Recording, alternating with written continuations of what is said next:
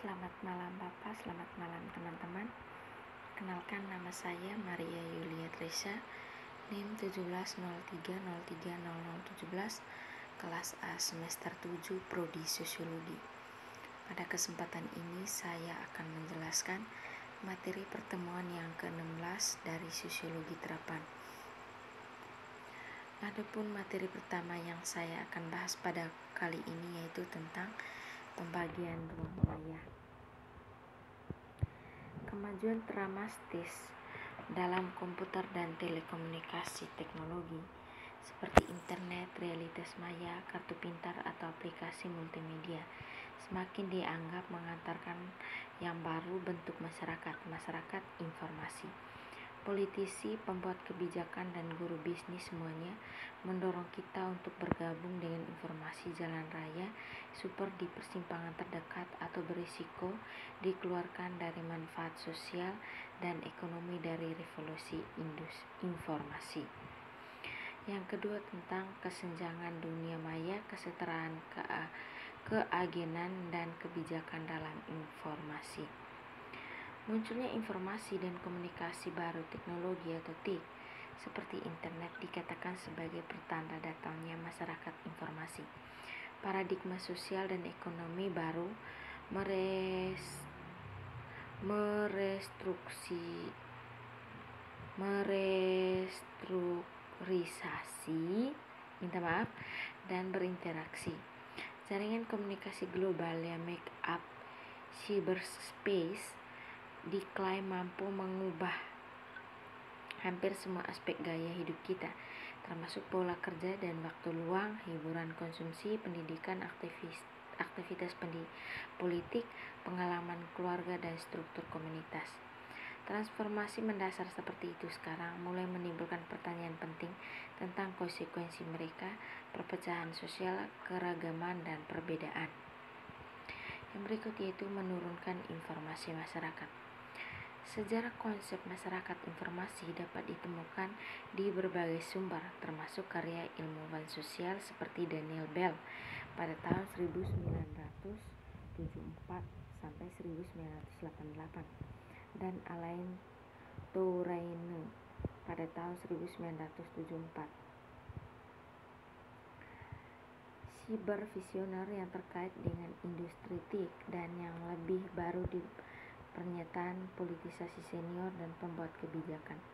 Sementara berbeda secara signifikan dalam kontribusi yang mereka berikan pada debat, mereka semua berbagi gagasan bahwa masyarakat sedang diubah oleh revolusi teknologi informasi yang menciptakan sosial yang sama sekali baru struktur.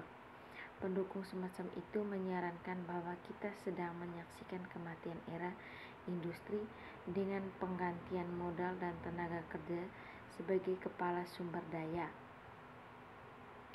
Pertumbuhan ekonomi dengan informasi dan pengetahuan sebagai sarana utama pembangunan. Untuk bukti yang muncul era informasi, masyarakat akan mengklaim bahwa manufaktur tradisional industri tidak lagi mendominasi generasi kekayaan nasional masyarakat maju. Yang berikut yaitu perspektif kritis perkembangan teknologi. Dengan menghindari akun yang lebih utopis dari masyarakat informasi tesis, penyumbang koleksi ini telah mencoba untuk mengadopsi kritis dan mungkin lebih berhati-hati atau meskipun tidak keras kepala terhadap perubahan yang didorong oleh teknologi yang sedang berlangsung. Ekonomi dan hubungan politik yang pada gilirannya sering kali menghasilkan ketidakpastian hasil. Dari perspektif ini, penjelasan untuk penyebaran yang tidak merata tik di dalam dan di antara masyarakat harus dicari dari lebih jelas pemahaman tentang hubungan antara perkembangan teknologi dan peluang diferensial untuk menjalankan kekuasaan. Yang penting tentang pendekatan semacam itu adalah bahwa itu latar depan peran agen dalam setiap perdebatan tentang inovasi teknologi. Anu Anonimitas dialami melalui komunikasi melalui komputer sering dihargai karena menciptakan peluang untuk menemukan versi alternatif diri sendiri dan untuk terlibat dalam bentuk interaksi yang belum dicoba. Dengan demikian, teknologi dapat menjadi lokus perjuangan antara kekuatan sosial dan ekonomi untuk dominasi dan upaya lawan oleh orang lain untuk membentuk identitas mereka sendiri. Dalam konteks ini, agensi diekspresikan melalui potensi untuk keluar dari membatasi hubungan sosial keluarga, pekerjaan dan komunitas dan bengkel baru, hubungan jarak jauh di ruang virtual. Jaringan komunikasi menawarkan prospek peluang yang lebih besar untuk mencari pekerjaan, mencari nasihat, menantang ortodoksi, bertemu seperti pikiran dan membangun perasaan diri sendiri.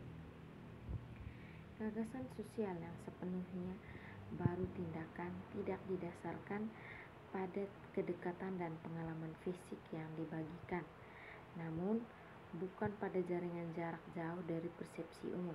Mungkin mulai muncul dan menantang struktur sosial yang ada. Untuk sebagian besar populasi dunia, kemungkinan membangun, membangun identitas virtual sepenuhnya bergantung pada materi mereka. Jelas kebanyakan orang tidak bebas untuk memilih, namun sebaliknya tunduk pada berbagai kondisi sosial dan ekonomi yang bertindak menyusun dan mengartikulasikan peluang mereka untuk bertindak. Pengalaman mereka masyarakat informasi cenderung kurang dinikmati oleh elit informasi yang menekankan kreativitas dan jangkauan jarak jauh jaringan dan lebih cenderung menjadi rutinitas, keterampilan dan pekerjaan membosankan pekerja, pusat panggilan informasi dan terisolasi pekerja jarak jauh. Oke, itu saja materi yang saya sampaikan pada malam hari ini. Selamat malam dan terima kasih.